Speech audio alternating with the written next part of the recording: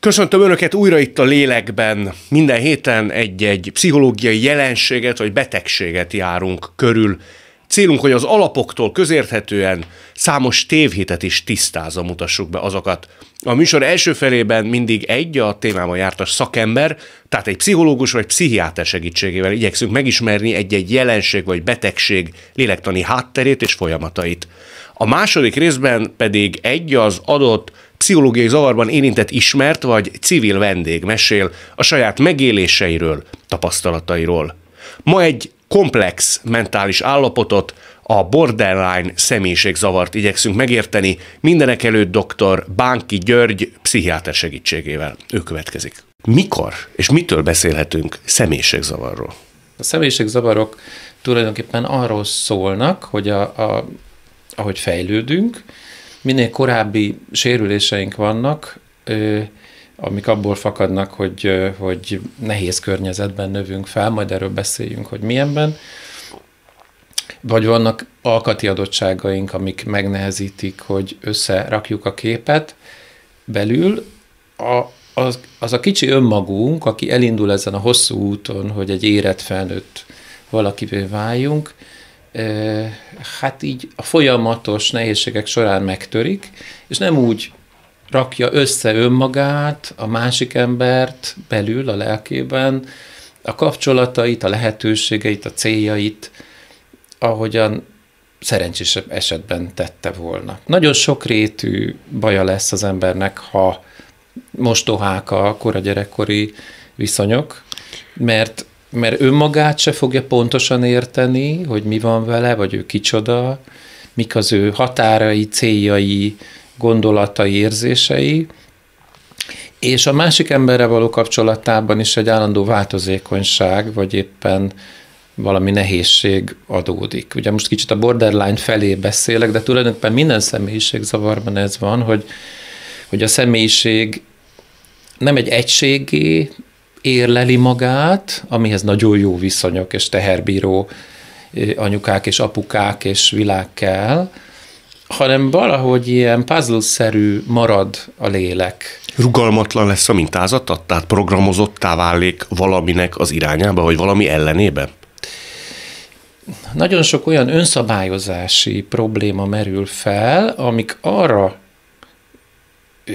viszik, vagy abban tartják benne ezt a valakit, hogy inkább a világot valamilyen fájdalmakon, szenvedésen keresztül éljék meg, és azt nézzék, hogy honnan jön a szenvedés, ki az oka, hogyan lehet ezt a szenvedést legyőzni, és ez valahogy a személyközi viszonyokat gyakran meghatározza, hogy hogy valaki fönt lesz, valaki lent lesz, valakit le kell győzni, engem győznek le, be kell adnom a derekamat, el kell nyomnom magamat, ez inkább a borderline, vagy mások fölé kell kerekedjek, akkor vagyok biztonságban, ami mondjuk a narcisztikus. De mivel ez egy nagyon bonyolult mátrix, nagyon sok dimenzióból áll, ezért tulajdonképpen abban a bugyorban, amiről beszélgetünk, a borderline-ban, abban valamennyire a narcizmus is benne van. Tehát, Tehát vannak átfedések. Vannak átfedések, nagyon bonyolult szövevény van. De ha nagyon egyszerűen akarjuk kifejezni magunkat, minek kell történni a gyerekkorban, mit nem kap meg egy gyerek, hogy borderline személyiség zavarról beszélhessünk? Sok de egymáshoz hasonlító útja lehet ennek. Az egyik az, hogy ugye a borderline-ok, a felnőtt borderline-ok borzasztó mély elhagyatottságot élnek meg, vagy mindenben azt látják, keresik, hogy hogyan fogják őket elhagyni, vagy hogyan kéne fenntartani a kapcsolatot akár erőnek erejével. Ezek a gyerekkorok, ezek arról szólnak, hogy hogy egészen mérgező szinten valami fontos dolgot nem kapnak meg a biztonságos kötődést, a szeretetet, a védelmet, a gondoskodást.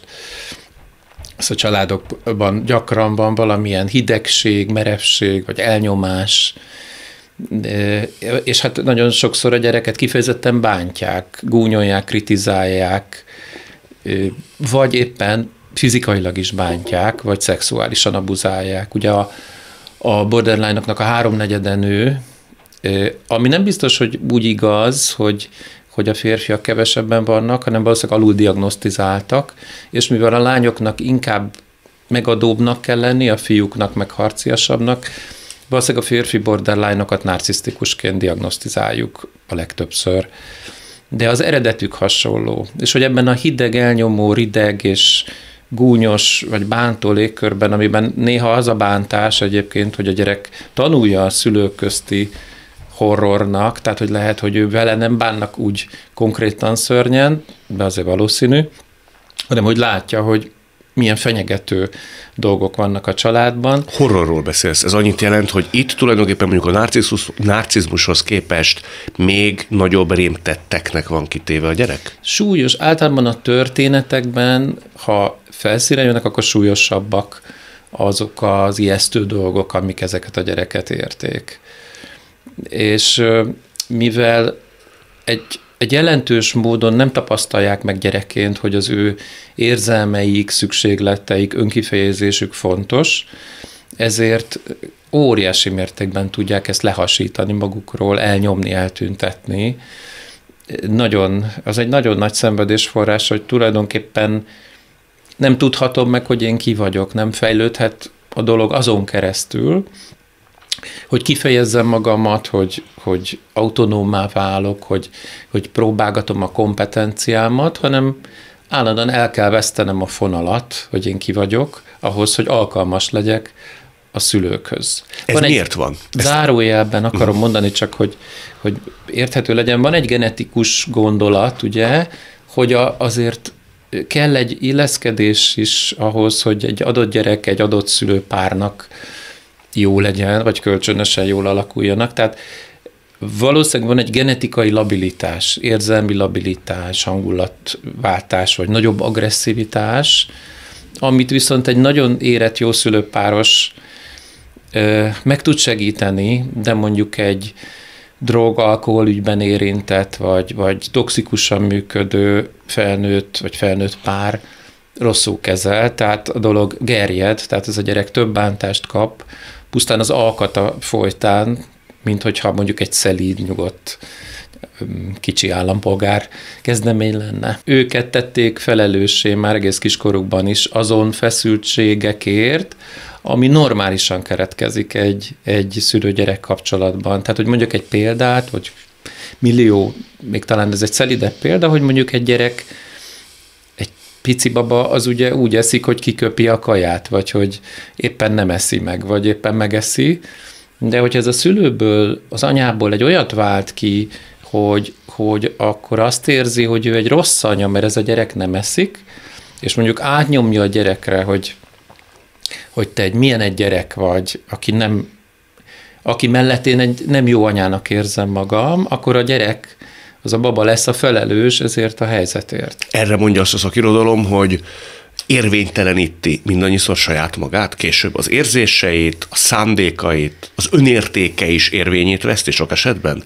Ebből fakadó a felnőtt korban? Így van. Igyekszik nem érezni. Igyekszik nem érezni a saját érzéseit. Nem is érzi, vagy elnyomja? Hát ugye ez egy folyamat, én nem gyerekekkel foglalkozom. A felnőtt borderline az idő nagy részében olyan üzemmódban van, hogy ne érezzen érzéseket, és ne támadjanak szükségletei. Ez én védő mechanizmus? Tehát saját magát védi ezzel? Ez egy ilyen, ilyen kellemetlen, felnőtt üzemmód, igen, tehát már úgy kellemetlen, hogy ebben üresség van, unalom van, egy ilyen lekapcsolódott állapot van, amiben az a fenyegető, hogyha az ember elkezdeni érezni az érzéseit, akkor lehet, hogy majd erre térjünk ki, akkor belülről önmagát kellene megbüntetnie. Tehát már bels, az a külső probléma, hogy a szülő így bánt velem, az, az idővel beépül a lélekbe, és egy belső konfliktussá válik. Tehát lesz belül egy üldöző szülő, a szülőnek már nem is kell gorombáskodnia, meg hát ugye az utak egy ponton ugye el is válnak, hogy felnőtt korban sokszor, és az illetőnek lesz belül egy úgynevezett büntető szülő része, amelyik meg tudja kínozni, hogyha ő az érzéseit kifejezi. Van egy, egy, egy páciens, ami olyan szépen mondta, hogy, hogy milyen konfliktusai támadnak most felnőttként, mondjuk bemegy egy közértbe, akkor ő nem az van, hogy nem köszön, mert végülis nem köszön, vagy csak nagyon halkan, mert úgy érzi, az annyira jól ragadta meg, hogy úgy érzi, hogy nincs joga rezektetni a levegőt a köszönéssel. Viszont a pult mögött levő azt éli meg, hogy bejött valaki, aki egy bunkó, aki nem köszön. E mögött mindig rettenetesen rossz önértékelés van? Tehát ők belül nullának látják magukat pont emiatt, ennek köszönhetően, ami a gyerekkorban történt, a folyamatos leértékelés miatt? Hát ez, egy, ez, ez nem egy, ez egy, ez egy borzasztó rossz önértékeléssel jár nyilván, de talán nem is ez a jó szó, hanem hogy az önértékelés teljes bizonytalanságával jár. Tehát, tehát az elhagyatottság érzése mellett egy állandó ilyen diffúzió van, hogy nehezen megragadható, hogy én ki vagyok. A borderline általában nem úgy grandiózusak, hogy, hogy színes sában lépkednek magabiztosan, peckesen az utcán, de abban lehetnek grandiózusak, hogy bevállalnak egy ultra nehéz partnert, ez gyakran férfi, és ez az ultra nehéz partnerek kapcsolatban élik meg azt, hogy majd ők, majd ők ezt kibírják, majd ők mindenhez alkalmazkodnak, az ő szükségleteik nem számítanak, és akkor majd ezen keresztül ez az idealizálható valaki, csak az a lényeg, hogy, hogy ne hagyjon el. Attól félnek ők szakadatlan? Az, rettenet, az a rettenet, hogy, hogy ugye ez terápiában ez egy elmaradt óra, vagy egy, egy, egy valami, ugye egy szabadság, az egy borzasztó fájdalmas és nehéz élmény. Tehát a borderline-ok klasszikusan összességében egy ilyen olyanban élnek, mint a pici gyerekek, hogy valahogy a, a pillanatban. Tehát nincs egy ilyen olyan időperspektíva, amiben én tudom, hogy az a fickó, vagy a csajom, vagy a férjem, az mindig van. Az most is ott ül. Ugye ezt így úgy hívjuk, hogy tárgyállandóság, tehát hogy a lelkünkben mi tudjuk, hogy az anyukánk akkor is él, amikor a másik szobában van, és akkor is gondol ránk, amikor dolgozik. Nincs egy fix, megfogható, jó másik, akkor az olyan, mintha már nem is lenne. És akkor, mikor már hazamegy a, a krapek mondjuk, akkor már lehet, hogy egy sodrófa várja, pedig ő csak egyszerűen dolgozni ment. Most ez nem akarom elviccelni, mert ezek nagyon mély fájdalmak és szenvedések. Tehát ami, mire hazaér a másik, aki egyszerűen csak dolgozott, vagy lehet, hogy még ment egy kört a valamelyik áruházláncba, és azt tapasztalja, hogy óriási adtak alá kerül és ezek, ezek iszonyú szétszedő konfliktusokká tudnak válni, mert ezt nehéz érteni, hogy de hát én csak, a másiknak meg azt jelenti, hogy te már örökre eltűntél. Azt tudod velünk érzékeltetni, hogy az érintetben, tehát a személyiségzavarosban, ilyenkor uh, mi és hol játszódik le? A fejében, a lelkében, az idegpályák során, valami a, nem tudom én, neurotranszmitterekkel történik valami, tehát mi hívja életre elő azt, hogy a démonok teljesen eluralkodnak rajta? Több dolgot kell tudni, már csak most annyira, amennyire most ebbe belefér, ugye, hogy egyrészt a, a gyerekkori sérüléseinket, veszélyeztetettségünket az agyunk az tárolja, a limbikus rendszerben azok benne vannak, és minél több volt a, a megbántó dolog, vagy a húzamosan fájdalmat okozó dolog, annál inkább rengeteg pici dolog, mint a posztraumás stresszben, kis dolgok is előhívják az egész veszélyérzetet. Tehát az, hogy te elmész a gyufáért, az, az, az, az nem azt jelenti, hogy elmentél a gyufáért, hanem a, a központi idegrendszernek azon része számára azt a veszélyt, érzéseket, testérzeteket, emlékeket, gondolatokat, hangulatot hozza föl, hogy te elmentél örökre. Ugye még ehhez pedig az tartozik hozzá, és azért nagyon nehéz a borderline önmagával bánni, hogy a személyiségzavarokban úgy, úgy megy a dolog, borderline-ban különösen, hogy nem egy személyiség van, ami mindig ugyanaz, hanem, hanem e, emiatt a, a, a zűrzavar és zilátság miatt különböző részekből áll össze. Ugye az egyik rész, ezek vannak ilyen gyerekrészek, az egyik az egy rémült gyerek, akit folyton elhagynak, vagy elhagyhatnak, iszonyatosan meg van ijedve, alig tudja kezelni ezeket az érzéseit, és ugye ezek a részek kevéssé kapcsolódnak egymással, és átváltanak egymásba. Minek a, hatására? Hát például, hogy a rémült gyerek ő azt érzi, hogy most elhagyják, tehát a másik egy kicsit morcos, vagy szeretne elmenni sörözni, vagy nem tudom, akkor ez a rémült gyerek átvált egy dühös gyerekbe, hogy megvédje önmagát az elveszítésétől a másiknak, és teljesen irreális szinten esetleg elkezd dühöngeni.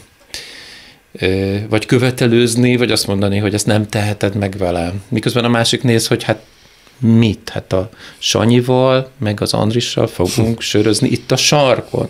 Tehát gyere, nézd meg, periszkóppal, vagy valahogy. De ennek a léleknek nem ezt jelenti. És a dühös gyerekből pedig beindulhat az, hogy egy ilyen borzasztó szégyenérzet, és az, hogy a belső saját büntető része beindul, és őt magát megtámadja. És akkor falcolhat, vagy öngyilkos is lehet valaki. Ugye a falcolás az, amikor valaki megvágja magát. magát. Az figyelemfelhívás általában, ugye? Hát figyelj, nem. Nagyon sok mindent jelenthet. Tehát az, hogy valaki sérti magát, az, az tulajdonképpen mindegyik állapotában mást jelent. Mm.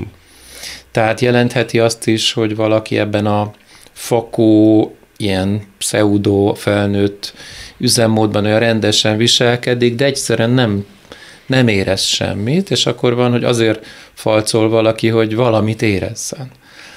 A dühös gyerek az azért csinálhatja, mert az impulzusait nem tudja kezelni. A büntetőszülő, ha belép a képbe, és ugye ő saját magát gyötri, akkor ez lehet egy önbüntető akció. Ők nagyon fájnak maguknak? Nagyon, nagyon.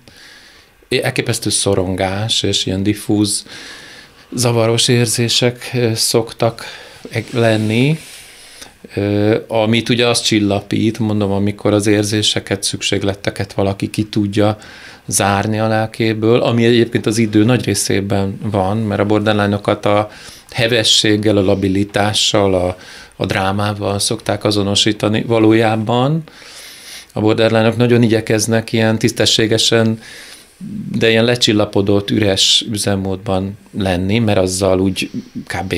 ki lehet bírni, de ebben nincs változás. Tehát ebben ilyenkor kezdő terapeuták, vagy képzetlenebb emberek azt hiszik, hogy most jól van. mert, mert most nem csapkod, nem dühöng, nem úgy viszonylag békésen zajlanak a napok. De nincs jól, hanem egyszerűen nem fejlődik, nem változik. Hm.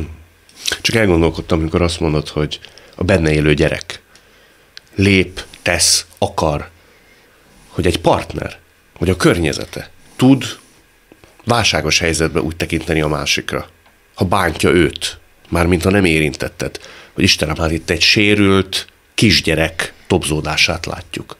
Hogy mit csináljon egy partner, még ha nagyon szeretés a másikat? Őrült nehéz dolog. Ugye terápiás keretek között is sokkal kudarc és sokkal szétcsúszó, nagyon feszült dolog. Hát képzelhetjük azt, hogy együtt élve, ugye szülő-gyerek kapcsolatban, vagy partner kapcsolatban, ezek a Monyodalmak, ezek mit jelentenek? Terápiában azt megtehetjük, ugye azt javasolják bizonyos irányzatokban, és szerintem ez egy nagyon segítő gondolat, hogy amikor a, a borderline rettentő igazságtalan és dühös, és mindent a fejedhez vág, aminek szélsőbb eseteiben ugye azért előfordulhatnak fizikai dolgok is, az mondjuk egy terápiának jelentheti a végét, vagy a kudarcát, de mondjuk akkor, ha rá tudod vetíteni egy dühös, nagyon frusztrált, rossz állapotban levő kisgyerek képét a másikra, aki most egy felnőtt testben mutatkozik, akkor az neked segít, hogy tovább tud szeretni és kibírni. Mert ha kibírod, akkor ő meg tud őrizni egy jót belőled, pedig támad, de valahogy a lelkében azt a jót, aki te vagy neki, azt meg tudja őrizni. De hát most ez együtt élve, úgy, hogy neked is vannak szükségleteid, ez meg azt jelenti, hogy állandóan destruálva van a szeretet. Tehát te próbálod szeretni, próbálod úgy látni, hogy igen, próbálom érteni, hogy ilyen gyerekkorral, ilyen működésekkel mi van, de hát ez én is egy ember vagyok, tehát hogy, hogy, hogy kibírhatatlan nagy feszkók vannak, és hát bizony sokszor ezek a kapcsolatok egyszerűen ezen önsorsrontás miatt ilyen nagyon törékenyek. Lehet, hogy furcsa a kérdés, de tudnak ők normális emberi mértékegységgel mérve szeretni? A borderline azok tudnak szeretni, igen. Csak hogy ez nem egy ilyen... De bonyolult. mániás lázálom, egy ilyen, mm. egy ilyen kötődési szándék? Vagy ez érdemi módon megnyilvánuló szeretet? Ö, úgy mondanám, hogy a borderline-ok képesek az empátiára, ők igyekeznek vigyázni arra, aki nekik fontos, csak elvesztik a fonalat, mert könnyen megkrémülnek. A rémületből düh lesz, a dühből szégyen és öngyötrés, az öngyötrésből fakó, üres állapot, tehát mondjuk a másik nem feltétlenül a kedvezményezettje annak, hogy, hogy most ők empatizálnak-e vagy sem, mert egyszerűen a dolog nagyon viharos, változékony és nehéz. De, de a borderline-ok igenis tudnak tekintettel lenni. Tehát amikor mondjuk elindul egy terápiában egy borderline páciens, és köztem egy konfliktus, vagy egy ilyen veszélyesebbnek tűnő, számára veszélyesnek tűnő dolog, akkor, akkor, akkor egyszerre vagyunk két síkon, tehát hogy neki, ha már egy képzettebb, kicsit megdolgozottabb, akkor akkor is nagyon nyersen jöhet az, hogy én most egy gonosz, elhagyó, nem törődöm, valahogyan abuzív figura vagyok, csak ő még nem, tal- nem tudja, hogy hogyan, de majd rá fog jönni, hogy én hogyan bántom. É, de a másik szinten pedig nagyon próbálhat rám vigyázni, hogy azért ne fajuljon odáig a dolog, hogy tényleg elveszítsük egymást. De ez intellektus kérdése, nem. a környezet kérdése? Nem intellektus, nem. nem. Ez, ez egy nagyon merev belső működésmód, hogy mondjam, ez olyan, hogy tehát tényleg az egész meló, ugye, ami egyéniben, csoportban, különböző műfajokban zajlik, az, hogy ezt a valakit, aki ebben az önszabályozásban ismeri fel az életet, ő így ismeri az életet. Neki, vagy így nem ismeri, szóval a lényeg az, hogy így, így zűrzavaros, vagy így világos neki a világ, hogy őt bántják, hogy ezt a bántást ő felfedezi, hogy visszatámad erre a feltételezett bántásra, mert az érzése az azonos azzal, hogy te ezt tényleg csináltad, hogy ebből baj lesz, ezt mind-mind Mind, mind, viszont ez egy kiszámítható világot teremt, bármennyire rémes. És hogy ezt az embert kell lehetőség szerint átsegíteni egy másik világba, ahol más szabályok érvényesek. Ez biztos hallott, hogy ez nem könnyű. Hm. De, de ez a feladat, tehát hogy ez a, e, e, e, ezen gondolkozunk, ezen, ezen küzdünk. Ugye úgy szokták mindezt leírni, legalábbis most olvasmány élményeink alapján erre jutottam, hogy először történik egy törvényszerű idealizálás, és szinte belátható időn belül jön a devalválás, tehát a leértékelés. Ez miért történik? Ugye ezt is lehet sokféleképpen magyarázni, mert ezek ilyen nagyon erős belső mechanizmusok, de ugye a, a, az elhagyott gyerek résznek szüksége van egy csodálatos másikra, aki befogadja, aki ezt tartozni fog. Gyakran van az a borderline-oknak az a fantáziája, hogy az a másik, aki lehet a terapeuta, vagy az a csodálatos férfi, az majd örökbe fogadja, együtt fognak élni, boldogan egy szigeten. Hát, hogy van egy idealizáló rész valóban, de hát aztán, aztán lesz valami, egy szóhasználat, tehát például szintén ezt a, ezt a kliensemet idézve, egyszer azt találtam mondani neki, hogy nehéz gyerekkora volt. És tök igaza volt, iszonyatosan kikérte magának. Tehát neki nem nehéz. Nehéz gyerekkora van embereknek, de egy borderline-nak nem nehéz gyerekkora van, hanem extrém szörnyű élményei vannak. És amikor én azt a szót használom a legnagyobb jó indulattal, hogy az én izé, az elképzelt mm, pszichiáterségem jó indulatával, hogy nehéz gyerekkor, akkor ez neki egy fájdalmas, bántó, meg nem értettség. Ugyanakkor, bocsánat, azt mondod, hogy jönnek ezek az irreálisnak tűnő, az idealizálásból fakadó, irreálisnak tűnő vágyálmok, de akkor, amikor ő csodálatos dolgokat mond a másiknak, ő azt akkor abban a pillanatban halálosan komolyan gondolja? Tehát az nem manipulációs szándékból történik, ugye? Ö, figyelj, ugye a borderline-okat sok vád éri, például az egyik a manipuláció. Szóval mindig attól is függ, hogy most itt behozzunk egy morális dolgot, mert ha behozzuk a morális szempontot, csak az most nekem nem dolgom, akkor mondhatjuk azt, hogy igen, most manipulál.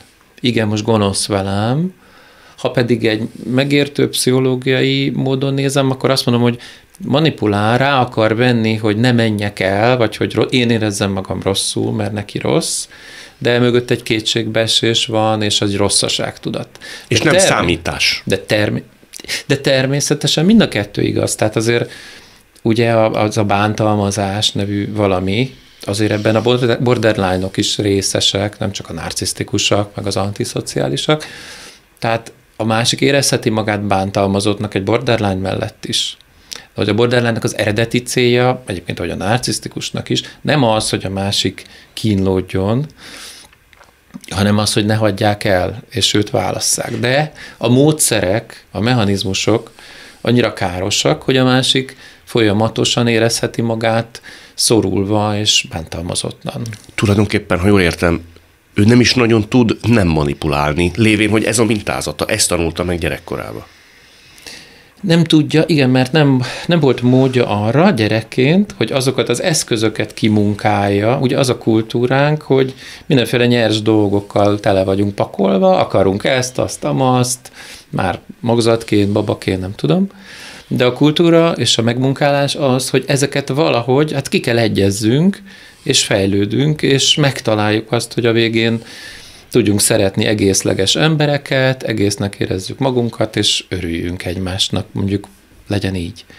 De hogyha ez, ez akadályozott, akkor, akkor egyszer az van, hogy, hogy, hogy a módszereket nem tanultam meg. Nem is tudom, ki vagyok, tehát honnan is eleve nincs mihez viszonyítani, és a módszereim is kapkodóak és károsak, és a pillanatnak szólnak, ami a másiknak igen rossz, és nekem rontja a sorsomat. Például vannak klienseim, akiknél azt kell elérni, hogy amikor úgy érzik, hogy valaki megbántotta őket, akkor ne kezdjenek el telefonálni, vagy levelet írni, mert Már az, a szakembernek. Hát nem, annak, aki éppen, ja, akinek szól. Vagy írják meg, de ne küldjék el, vagy nekem küldjék. Ez valamit csináljanak, ami nem az, hogy... Mert az másnap nekik is mást fog jelenteni, annak a valakinek valamit fog jelenteni. Tehát nagyon sok ilyen nüanszból áll össze, hogy, hogy megnyújtsuk azt a reakcióidőt, ami egy adott állapot kínlódásából fakad. Amúgy ez hogy mondjam, egészségesebb felnőtt embereknek is gond, hogy ne azonnal Persze. legyenek gorombák. És forró fejűek, ez igen. Mindig, én is tudom, hogyha vannak helyzetek, ahol nem kell nekem aznap levelet írni, mert ez már jártam úgy, hogy hűm. De ilyenkor az ő esetükben valami fajta hasítás történik? Tehát nevezetesen, igen. hogy abban a pillanatban átkerül a sötét oldalra az illető, és az addig idealizált emberből egy patás ördög lesz? Annak az ellentétpontjai lépnek életbe, amikor korábban olyan hívogató és csalogató volt? Igen, mert az izgalomban, meg a veszélyérzetben a borderline lélek szétdobja ö, amúgy is, de nagyon széttartja, de szétdobja a másik jó és rossz vonásait, és akkor a jó része az olyan, mintha felfüggesztődne, nem lé, bekerül egy ilyen zébe, gardrób szekrénybe, hmm. és csak a rosszat tapasztalja meg felőled, és te nem ért, és ez egy, nem egy, ez nem egy olyan, hogy na jó, ő ezt gondolja, hanem ez egy igazi mély, behatoló, bőr alá menő érzés. Tehát amikor egy borderline nem kedveli az embert, az nem olyan, hogy magánügy marad, hanem azt te akkor is érzed, ha egy szó se hangzik el, tehát bemegy a lelked mélyére szinte átérzed, hogy mi lehet ez a dolog, ami, ami most benne történik. Valahogy a tiéddé is válik. És ugyanez a példa, ez nekem nagyon tetszik, hogy beteszi a gardróbba. Ugyanúgy érvényes az idealizálás során, amikor meg a rossz tulajdonságok kerülnek bele ebbe a gardróba. Tehát ő nem lát más, csak egy fantasztikus lényt, ugye? Igen, bár azt tudjuk, hogy az idealizálást azért nehezebb fenntartani, ugye ez azért az egy kicsit, kicsit bajosabb Igen, de hát az elején van egy ilyen idealizálós dolog. Lehet hosszabban is, de semmiképpen nem örökre. Iszonyatosan fontos, hogy ne démonizáljunk embereket, akik egyáltalán nem tehetnek a sorsukról, hanem azon érdemes törni a fejünket, hogy hogyan hogyan lehet őket ö, inkább visszasegíteni egy olyan felnőtt korba, ahol, ahol a saját kontrolljuk megnő, az elfogadottságukat megélhetik, és jobb kapcsolatok. Mert hát ugye ez terápiában ez nem ritka, hogy az illetőt odáig kell elsegíteni, hogy például egy jó párkapcsolatban tudjon lenni. Egy... El lehet segíteni? El lehet segíteni, igen. Hogy tud ez egy működőképes, egészséges, minden részterületében egy mindkét fél számára élvezetes párkapcsolatot jelentsen? Igen. És azért ez hosszú évek terápiája, hát ugye? Igen. Ügyesebbek három év, ilyen kezdők, mint én, az egy millió év, sok év, tehát hogy sok év, a, a, amíg valaki ebb, rengeteget kell a magát, sok, sok a visszaszívó erő, hogy ez, a, ez az eredeti fránya önszabályozás újra és újra erőre kapjon, és most nem tudjuk ezt kifejteni, de a lényeg az, hogy sok a buktató, de van, van kiút, és vannak na- nagyon komolyan erre kifejlesztett módszerek. Nehéz dolog ez, amit említettél, hogy azért a partnernek mennyi mindent el kell néznie, milyen sok uh, dolgot kell elviselni. Azt hiszem Szabó Magda írja valahol, hogy én nem tudom megadni neked azt, amivel az élet tartozik.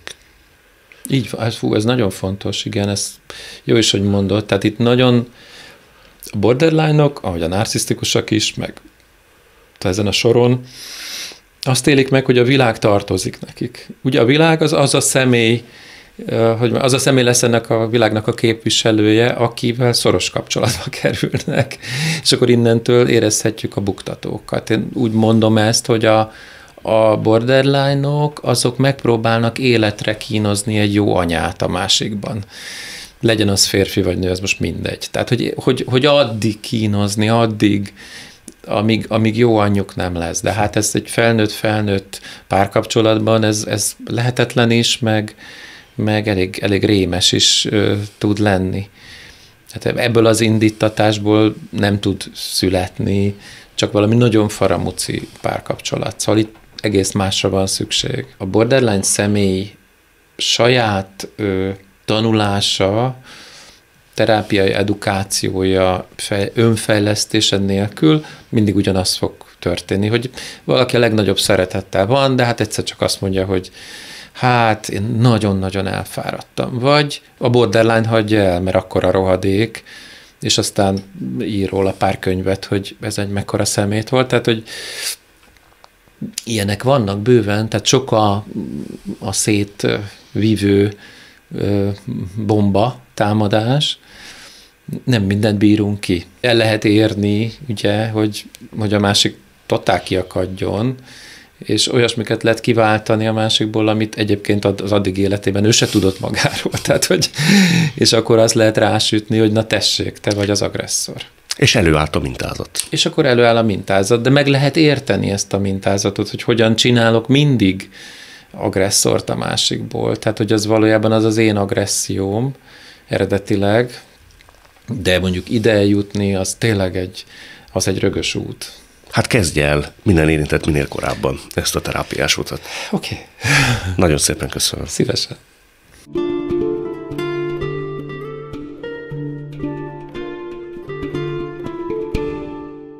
Dr. Bánki György után következik a borderline személyiségzavar egyik legtöbbet szereplő hazai képviselője, aki könyvet is írt személyes tapasztalatairól. Jöjjön Knessl Beáta Carmen. Te érzelmi nyomoréknak szoktad nevezni saját magad? Igen. Miért? Gyakorlatilag ö, szerintem ezt a definíciót én azért használom, vagy ö, találtam ki, mert mert mi lelkileg nem mindig vagyunk toppon, nem tudunk fölállni, nem úgy funkcionálunk, működünk, mint egy egészséges ember, érzelmileg leginkább. A nyomorék az erős szó. Igen, de ez is erős. Igen. Ez is erős? Annál erősebb, igen. Milyen? Tudod érzékeltetni? Olyan, mintha hogy óránként egyik pillanatra a másikra lenne egy ideg összeroppanásod. Hú, ez nagyon uh, szemléletes példa. Igen, és nem túlzó, azt kell, hogy mondjam sajnos. Az is érdekes, hogy ugyanabban a pillanatban tudunk gyűlölni, legalábbis én személy szerint egy embert gyűlölni és imádni, ugyanabban a pillanatban. Melyik az erősebb? Az attól függ, a szituáció függő. Kiváltja ezt valami? Megnyomódik Igen. egy gomb? Olyan külső tényezők tudják kiváltani, ez főleg ugye érzel, aki, akivel érzelmi kapcsolatban vagy, ö, általában azok, vagy egy olyan történés, hogy esemény képes ezt ö, indikálni, ami, amit nem is tudom, hogy az érzelmi központom úgy reagál le, hogy nekem ott azonnal, én egy felkészültebb borderline személyiségzavarban szenvedő valaki vagyok azért már, ugye én ezzel foglalkozom nagyon régóta, mint tapasztalati szakértő, nem mint szakember hogy ugyanabban a pillanatban el kell döntenem, hogy ez most egy, ez a külső sérelem, ez vélt, vagy valós. Nekem azt azonnal kezelni kell tudnom. Mert mindig a külvilágból érkezik valami, ami a te felfogásod szerint, vagy észleleteid szerint sérelemként könyvelendő el. Igen. Mindig ez az indikátor. Igen, igen, igen, határozottan. Lehet ez egy megalapozatlan sérelem is?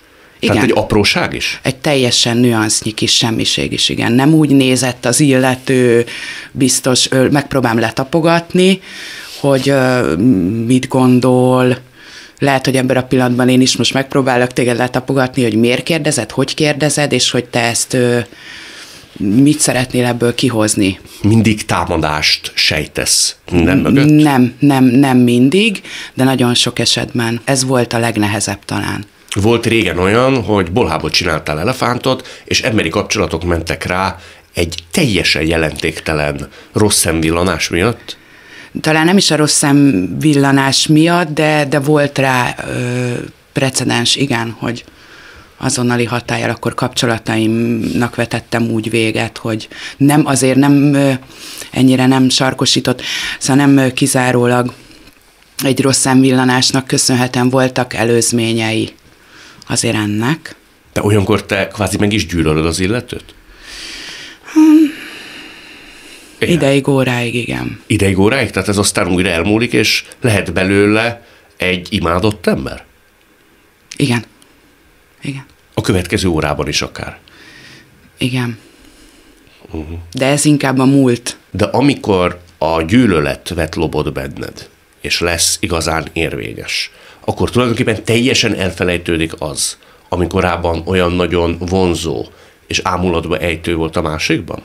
Ilyenkor nem a másikat támadjuk be, azt gondolom, ezt most azért idézőjelben, hogy támadjuk be, hanem azonnal elkezdünk azon gondolkozni, hogy mi, mi milyen hibát vétettünk, hogy mi miért így, hogy hozzánk miért így viszonyulnak, hogy azonnal egy belső mechanizmus indul el, hogy biztos mi csináltunk valamit úgy, amiért ez az illető így viselkedik. Mindig És ez nem mindig valós. Mindig mindenek előtt magadban, önmagadban keresed a hibát?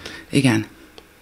Te rájöttél ennek az okára? Tehát, hogy ennek van valami családi keltezése, vagy keletkezés története, vagy oka, vagy ilyen a természetrajza ennek a zavarnak? Természetesen van, de így erről nem annyira szeretnék beszélni. Ugye nálam 2015-ben borderline személyiségzavar diagnosztizáltak, és amikor én megkaptam úgymond ezeket, a, hogy miből áll a borderline személyiségzavar, miben léte mondjuk a kritériumok, akkor így az egész család gyakorlatilag összeomlott, hogy úristen, ez te vagy. Hogy, hogy igen, hogy én abszolút érzem is, és, és tudom is, hogy, hogy mi bajom van. Be tudom helyettesíteni már, de ehhez idő kellett.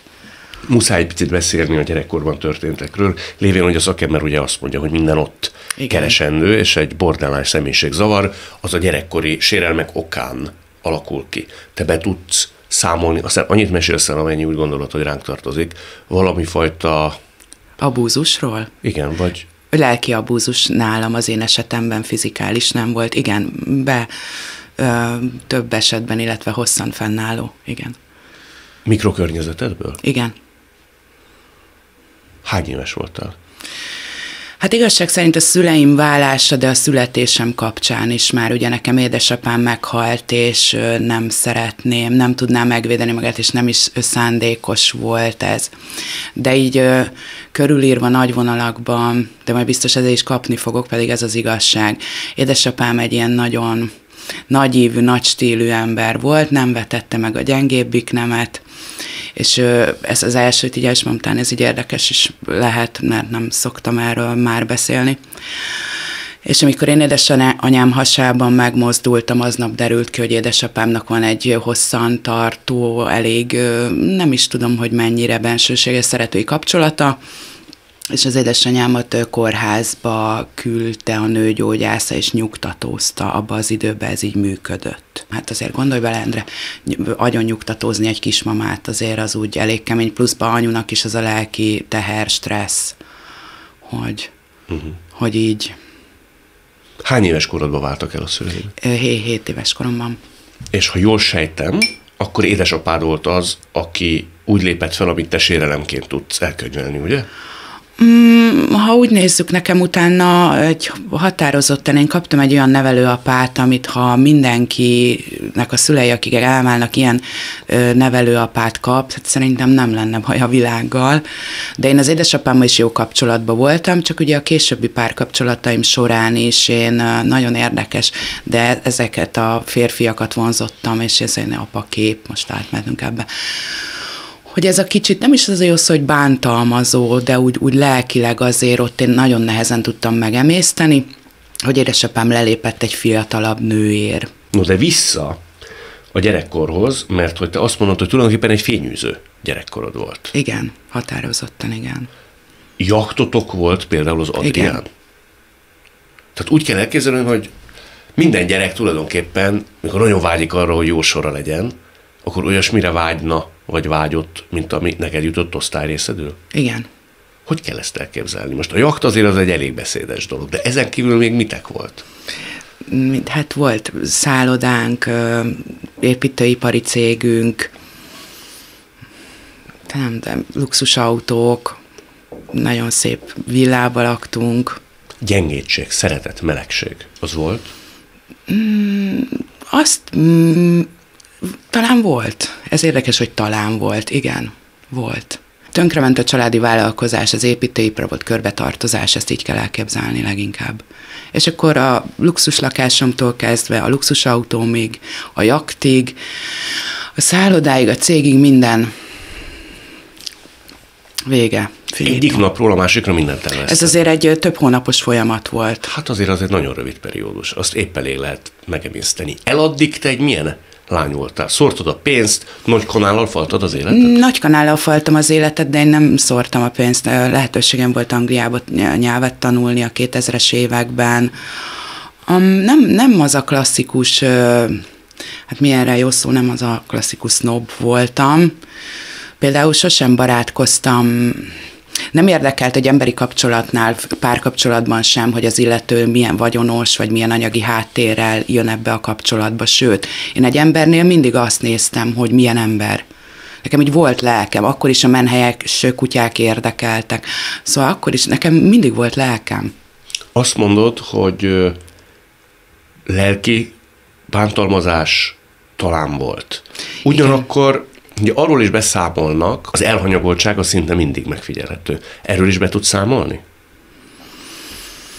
Um, hát Endre, én ezért nagyon ki fogok kapni most.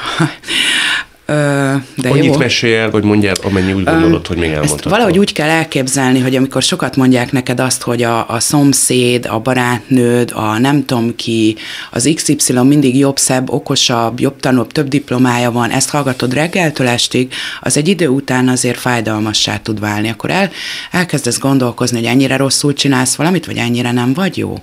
Ott tartunk, hogy gyerekkorban történtek, ezek szerint megácsolták ennek a személyiségzavarnak az eljövetelét, vagy meglétét. Igen. Mikor topzódott mindez, vagy kapott lángra? Akkor, amikor egyik napról a másikra minden összedőlt? Ö, igen, és akkor én önszántamból be is vonultam a, a pszichiátriára, mert én általában azt szoktam csinálni, hogyha érzem, hogy valami nem stimmel, akkor így elgondolkozom, hogy oké, okay, de hogyan tovább. De akkor nem volt arról fogalmam sem, hogy borderline személyiségzavarom van. Na de várjál, akkor ez már nem az első eset volt, hogy te a pszichiátriára akartál menni? Nem, nem, nem voltam, hát gyerek, gyermekkoromban nem voltam pszichiátrián, de furcsa kislány voltam például. Um, az óvodás koromban úgy kell elképzelni, hogy mondták, hogy anyukámnak, hogy ott vannak a gyerekek, meg a Bea. Szóval így furcsa, furcsa voltam. Ilyen, mondjuk úgy egyéniség, ha így nagyon Különc voltál. különc, így el szeretnénk vinni egy ilyen szebb pozitív a felhanggal, akkor egy egyéniség különc valami, igen. Akkor kapott lángra, amikor egyik napról a másikra szinte mindent elvesztettetek. Igen. Te felhívtál egy pszichiátriát, és azt mondtad, hogy jövök? Be kell menjek. Szinte igen, szinte igen, igen, igen. Mit éreztél? Hát, hogy nem annyira szeretném túlélni ezt most már így, hogy szeretnék meghalni gyakorlatilag. Hogy én ezt nem csinálom tovább, így, ebben a formában. De mit éreztél? Mi fájt? Nem, nem is annyira az anyagi, nem a, a szép dolgok elvesztése, vagy, a, vagy ilyenekre kell gondolni, hanem hogy teljesen egyedül vagyok a világon, nem fogok kijönni belőle, már anyagi biztonság sincs, a világ, tényleg lehet egy picit káromkodni? Igen. A világ legnagyobb szara vagyok. De ezt szó szerint értsd hogy semmire nem jó, soha nem jövök ki belőle, nem tudom, mi történik, minden borús, minden össze fog omlani, itt, itt, itt mindennek vége. Egy nagy része a barátaimnak, barátaimnak, nem a privát, hanem a családom által megismert baráti körnek, azok is így a, a, a vagyon, hogy mondjam, elvesztésével ők is eltűntek a semmibe. Szóval ezt szó szerint tényleg úgy kell elképzelni, hogy amikor semmi nem lesz egy idő után, akkor, akkor tényleg eltűnnek bizonyos emberek az életedből. Szóval ez nem csak egy ilyen, nem is tudom, légből kapott dolog, hanem akkor, akkor így minden megszűnik. Ez, ez valós része volt, hogy, hogy ők eltűntek például. Bementél a pszichiátriára, ahol diagnosztizálták nálad a borderline személyiségzavar. Igen, Megijedtél? nem. Boldog voltam. Hogy végre Igen. Hogy Hogy- végre neve van annak, amit, amit én belül érzek. Hogy akkor nevesítjük. Nagyon jó. Tudom, fura, de jó. Örültem neki. megnyugtatott. Igen? Te tudtad te, hogy mi az? Nem. Én annak előtte olvasott embernek tartom ugyan magam, de nem sem szakirodalmat, még a kifejezést sem hallottam. 2015. február 4-e, igen. Azért ezt megjegyzi az ember. Igen.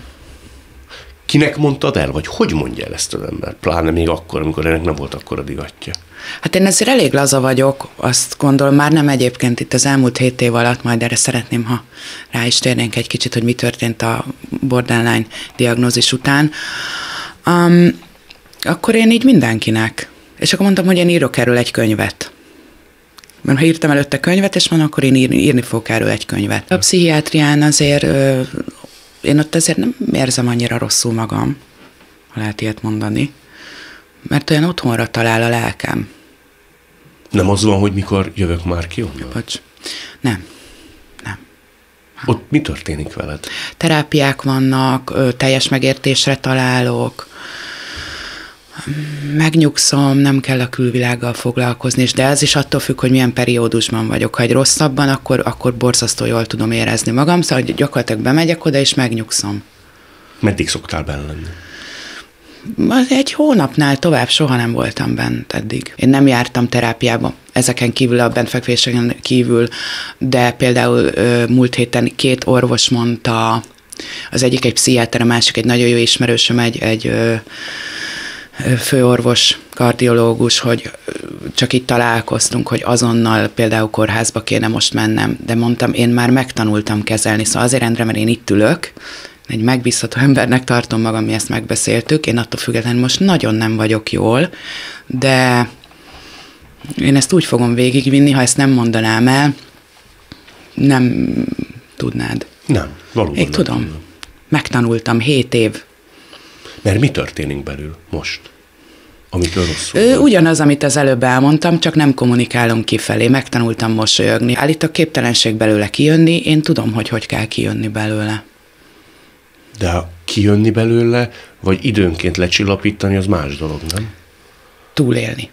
Túlélni. Aha. Egy szóval, túlélni. Én nem pénzt kérek az emberektől, hanem hogy segítsenek hozzájutni egy olyan könyvkiadóhoz, mert azt gondolom lenne rá igény aki ezt a könyvet kiadná. Ugye az első könyvet, illetve az már a második könyvem volt, amit a pszichiátria után írtam, azt magánkiadásba tudtam csak kiadatni. és utána már kiadt egy másik kiadó is, szóval lett ennek azért egy, egy visszhangja, meg egy sikeresnek mondható könyv, azt hiszem. De ezt a következő könyvnél én már nem tudom végigcsinálni, amiben a borderline személyiségzavar megoldását megírtam. Hétköznapi kompetenciákat tartalmaz, sehol a világon nem jelent még meg hasonló sem. Én valószínűleg be fogok feküdni egy kórházba a jövőre, igen, megint. Igen. Uh-huh. De én ezt időközönként azóta meg is teszem, mert tudom, hogy, hogy, hogy segít. Ott nagyon jó, te, ott terápiák vannak, de ugye ez egy olyan két hetes, három hetes Nem tudom, időszak. és véletlenül se vett támadásnak, de hogyha ott te, mikor befekszel, érzed annak a konstruktív, hozzáadott értékét, hogy terápiák vannak, és látnivalóan sokat segít rajtad, akkor nem lehet azt megspórolni, hogy folyamatosan jár az ember terápiába, és nem egységnyi idő alatt, amikor már beköszönt a nagy baj, kell ilyen értelemben segítséget kapni? Értelek.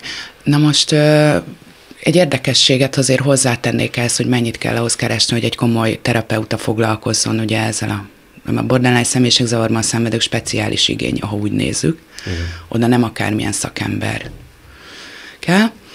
Um, na most nagyon szeretnek egyébként a munkaadók, mert beírják a nevem, és tőlem azonnal megijednek, két diplomával, négy szakmával is megijednek. Nagyon érdekes dolgot mondok. Egy multicégnél, hipermarketnél voltam HRS tavaly. Mind érdekesség. De most nem gondolnám, nem alantas a munka, meg nincs ezzel gondom, de az önbecsülésnek nem tette annyira jót, hogy HRS-ként kellett a vásárlók kosarait összeszedegetnem és odavinni a bejárathoz. HRS-ként. Szóval kb. ilyen munkahelyeket kapok. Na most, ha ilyen munkahelyeket találok, és nem sajnáltatom magam, mert nem szoktam játszani a mártírt ebben a témában, meg, megpróbálom megoldani, de ha ilyen jó melókat kapok, akkor szerinted ezekből a melókból mennyire lehet egy olyan terápiát kifizetni? Tehát anyagi gátja van magyarul. Részben igen. Én megpróbálom. Én, De ha meg lenne a pénz hozzá, ne, akkor... akkor sem mennék terápiába. Miért nem? Mert azok az emberek, akik nem tudnak egy ilyet megfizetni, azok sem mehetnek terápiába. Igen, de csak folyamatosan az a érdeklődésem fókusza, hogy rajtad ki fog ilyen értelemben segíteni, hogyha te megáltalkodott a másokon akar segíteni, és látnivalóan azt mondod, hogy elértél a teljesítőképességet határához. Endre, én egy nagyon kreatív embernek tartom magam, annál kreatívabbnak. Én meg fogom oldani.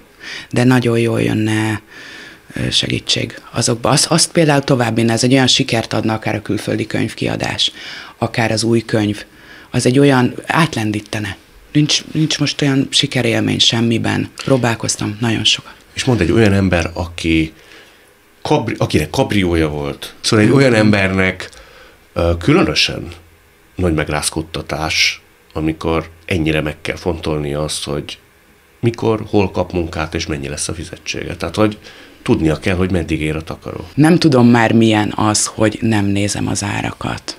Hogy Jézusom, már nem tudom. De ha ebbe szépen megint beleringatom magam, az sokkal rosszabb. Szoktam agyalgatni a múlton, de inkább érzelmi ilyen exekkel, vagy Excel kapcsolatos dolgokon szoktam. Igen? Igen. Azt kérdeztem az előtted nyilatkozó Bánki György szakembertől, hogy például a borderline személyiségzavarba szenvedők a későbbiek során képesek-e felülvizsgálni rossz döntésüket. Tehát van-e bennük belátás, hogy ó, hogy én ott milyen voltam azzal a szerencsétlennel, aki mindent megpróbált, szeretett, és én mégis lehasítottam, és rosszul bántam vele. Ilyenek vannak? Hajaj. Hajaj. Igen. Hogy jön egy ilyen felismerés? Villámcsapásszerűen. Beugrik Béla arca. Igen. Igen? Azt, hogy a fenébe.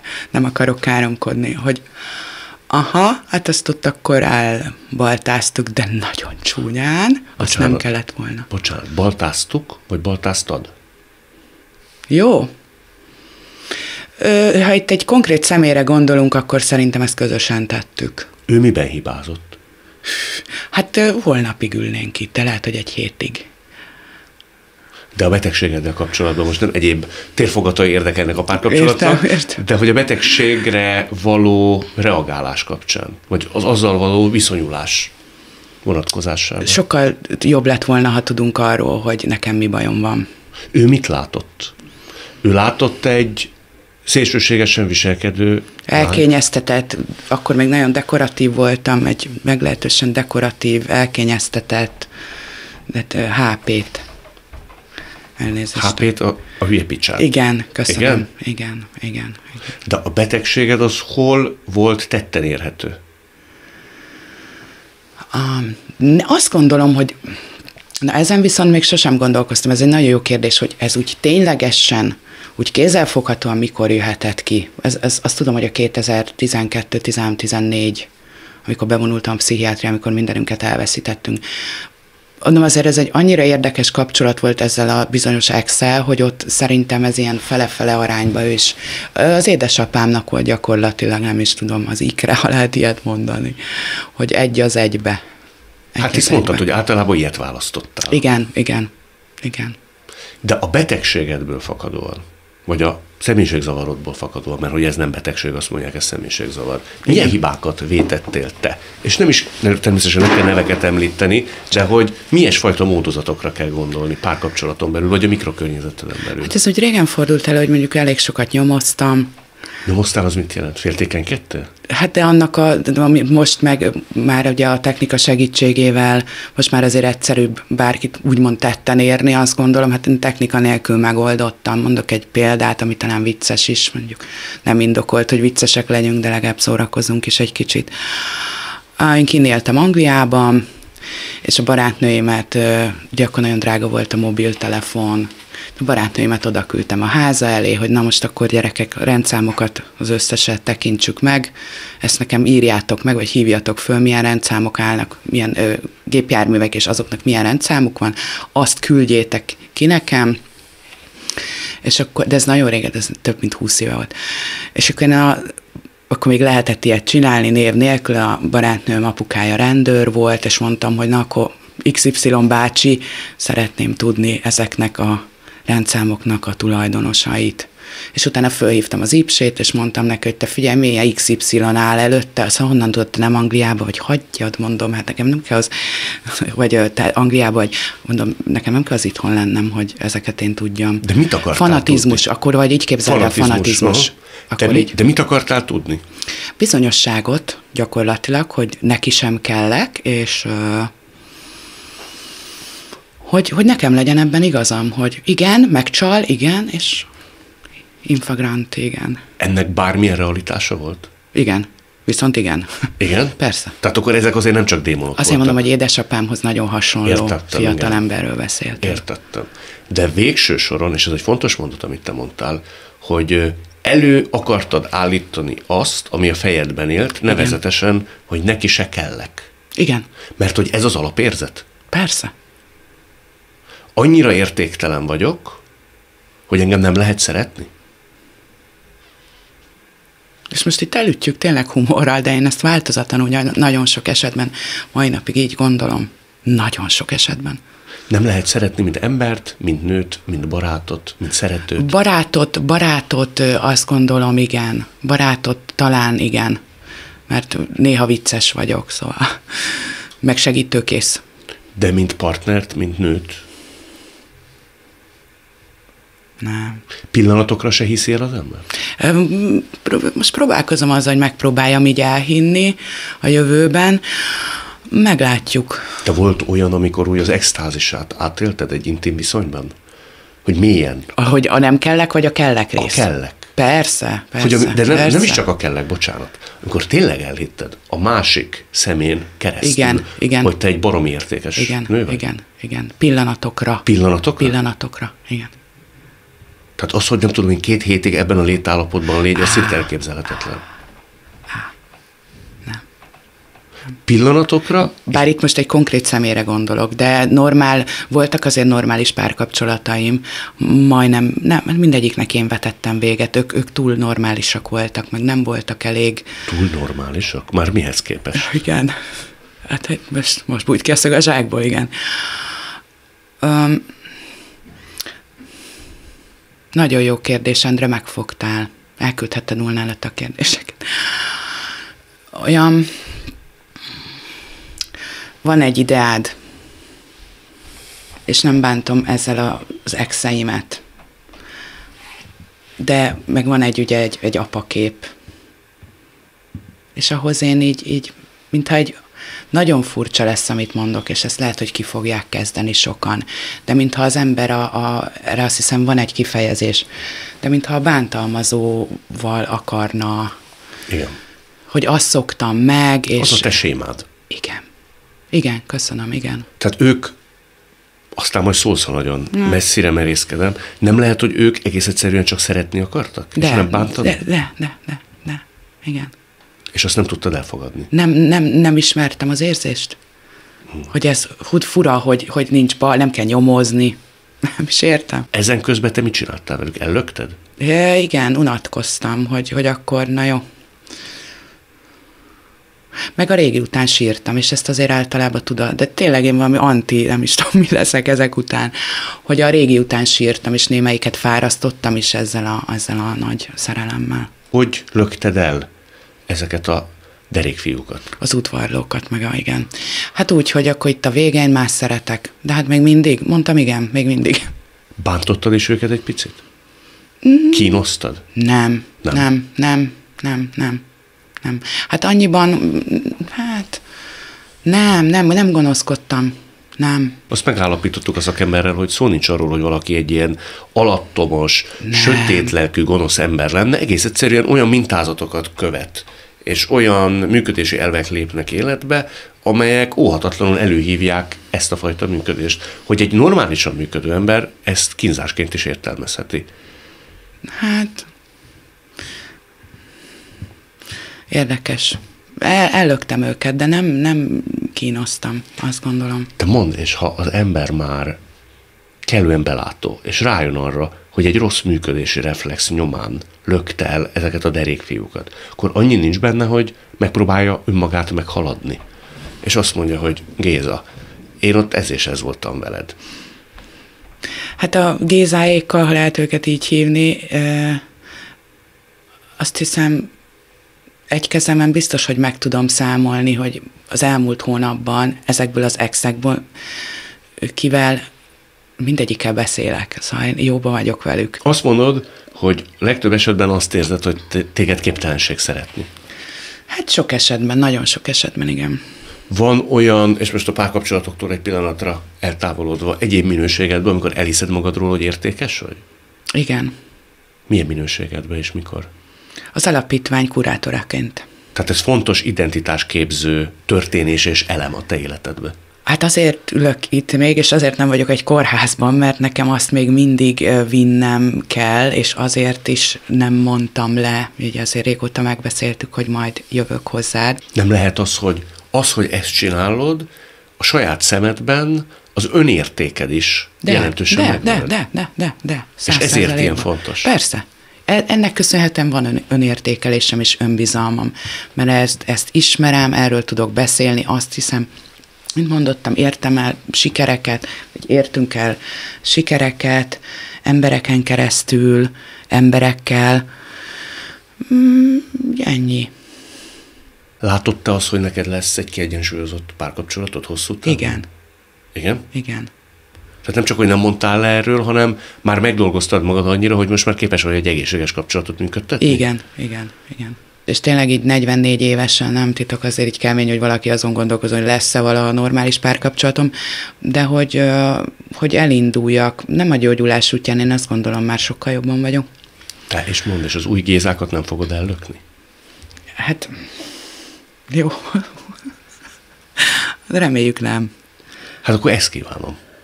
Mind a gézák miatt, de legfőképp te miattad. Nagyon aranyos vagy, köszönöm szépen. Én köszönöm, hogy eljöttél és ezt elmondtad. Köszönöm.